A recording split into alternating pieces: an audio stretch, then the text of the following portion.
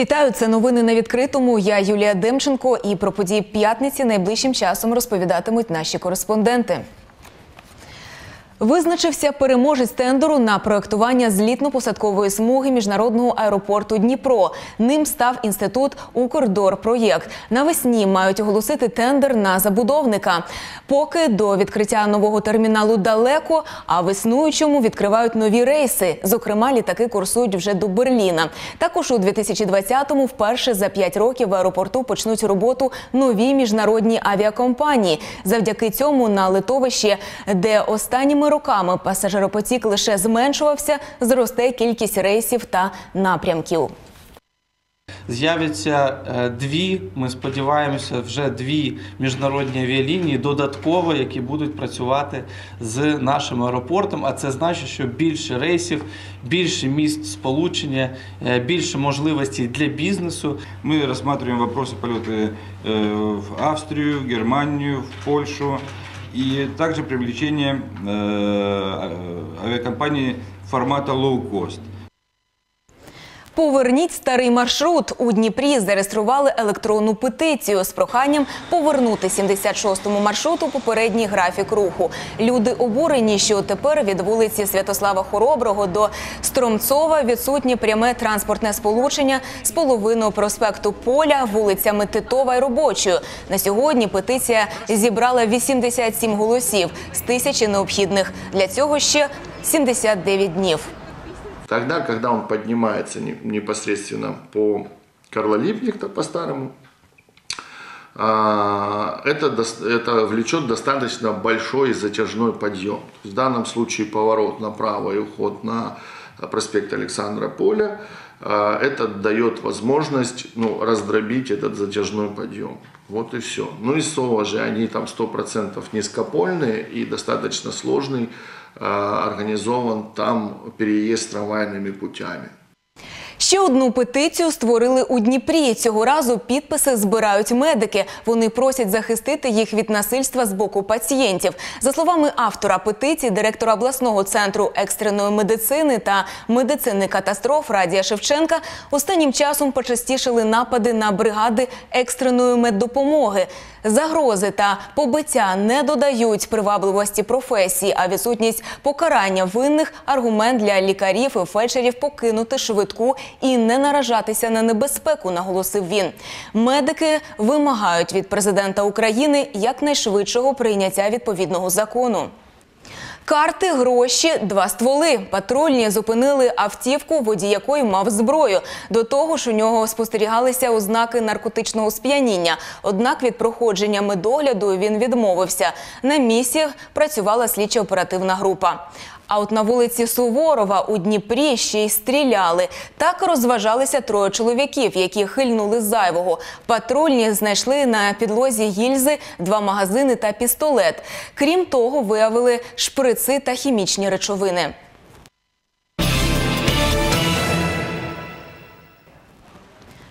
Справжній талант 10-й школі Дніпра. Цього тижня вона виграла у судах одразу дві справи. Спершу окружний адміністративний суд зобов'язав міськраду виділити кошти на оформлення права власності навчального закладу на землю. А кілька днів по тому апеляційний господарський суд повернув 10-й школі і майстерні для трудового навчання.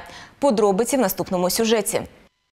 Кілька років тому 10-та школа стала зоною конфлікту. Орендар прямо на її подвір'ї збирався звести багатоповерхівку. Тоді, у травні 2018-го, батьки і керівництво школи дізналися, що 30% території закладу вже не належить. Відтоді разом з прокуратурою домагалися у судах правди. Першу перемогу святкували 11 лютого цього року. Суд повернув школі землю і зобов'язав міськраду виділити кошти на її оформлення. А за кілька днів пройшло інше засідання щодо повернення школі права власності на трудові майстерні. Ми знаходили змогу для того, щоб в самій будівлі школи організувати навчання, трудове навчання, Але матеріальна база для цього не відповідає вимогам сьогоднішнім для е, кабінету трудового навчання. Тому наполягаємо, щоб ця будівля була повернена е, школі На суді директорка наголосила, у їхній школі навчаються 15 діток з особливими потребами. Для них трудове навчання чи не єдина можливість соціалізуватися та хоч мінімально підготуватися до дорослого життя. Та й для інших учнів ці заняття не зайві. Тому просила суддів задовольнити їхню апеляційну скаргу на рішення 2009 року. За ним майстерні передали фірмі «Промпоставка А». В зв'язку з тим, що в даному випадку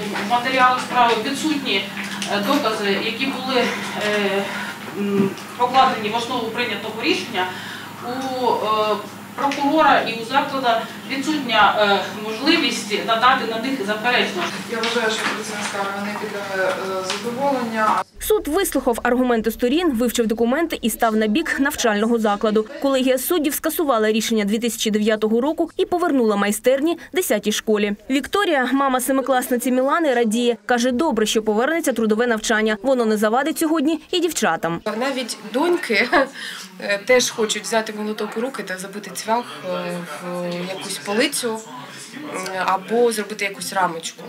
Оскільки це для кожного в нашій країні повинно бути. Так як хлопці в нас зараз вишивають, вони не можуть робити табуретки, е, а лише крестиком-ноликом. Чи оскаржуватиме фірма «Промпоставка А» рішення апеляційного господарського суду невідомо. Їхня представниця від коментарів відмовилася. Альона Вєтрова, Олександр Вернігоров, Костянтин Кесар, Open News, телеканал відкритий. Курси з цифрової освіти їх запустило Міністерство цифрової трансформації України. Навчання цифровим навичкам у форматі освітнього серіалу. Першими онлайн-хабами стали бібліотеки. До проєкту приєдналися 6 тисяч закладів. Серед них і бібліотека імені Тараса Шевченка у Кам'янському.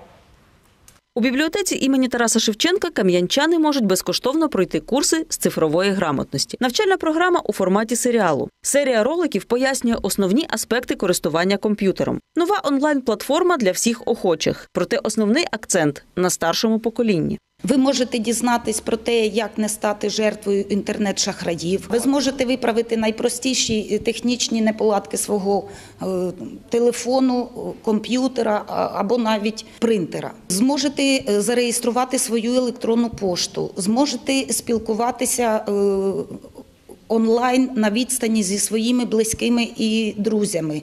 У кожному відео зірки української естради. Вони у простій формі пояснюють користувачам основні принципи роботи в інтернеті. Разом надішлемо свій перший електронний лист. Повідомлення у соцмережі зі смішним фото чи новиною та налаштуємо пристрій залежно від наших вподобань. Ви готові?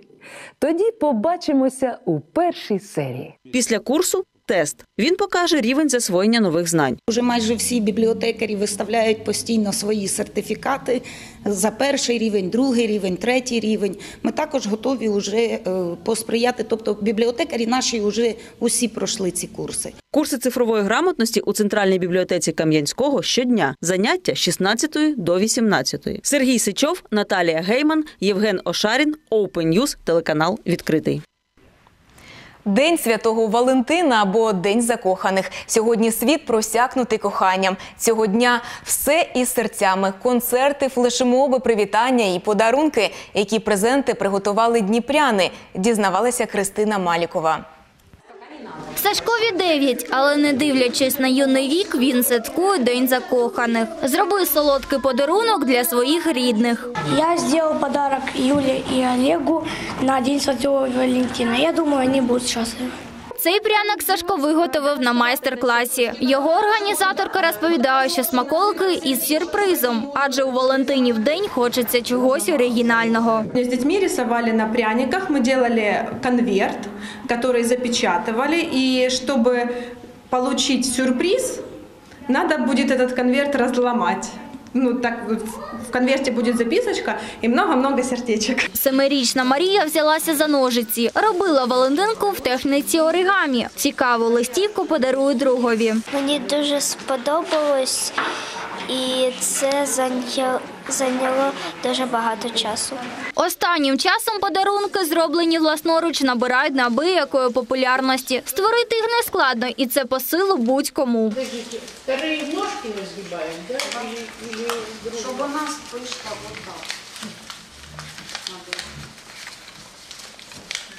Серед презентів і квіти. За словами флористів, зараз у тренді екзотичні. Та все ж таки радять звернути увагу на класичний букет. и красиво, и солидно подарить вот так вот девушке букеты. Также мы можем э, предложить вот такие варианты. Это цветок любви. А Вот.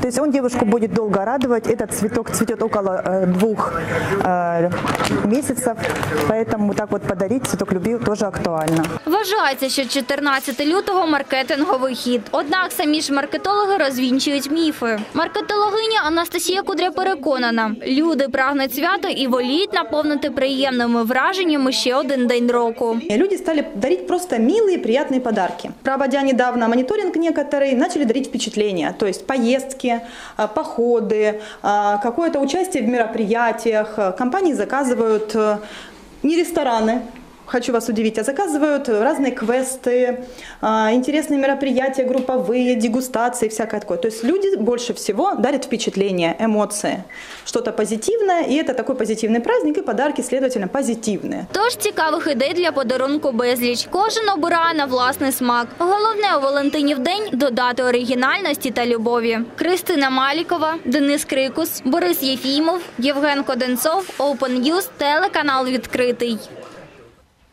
Такою була остання інформація випуску. Більше новин читайте на нашому сайті opentv.media. Залишайтеся з відкритим. Усім бажаю кохання, обов'язково взаємного і нехай щастить.